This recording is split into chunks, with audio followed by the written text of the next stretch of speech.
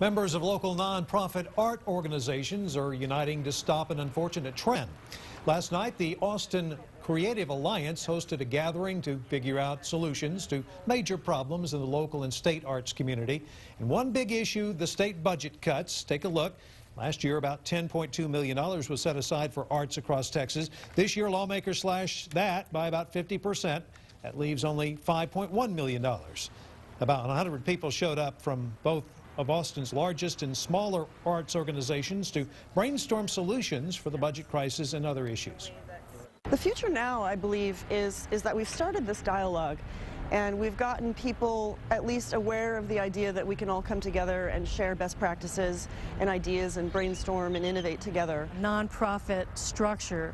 Um, it's been around, it was invented in, in the 60s to meet a need, and you know, we're 2011 maybe it's time for us to kind of rethink how we structure our nonprofits and how we restructure the way we deliver our goods and services. The Creative Alliance plans on organizing more meetings in the future. They'll post future dates on their Facebook page.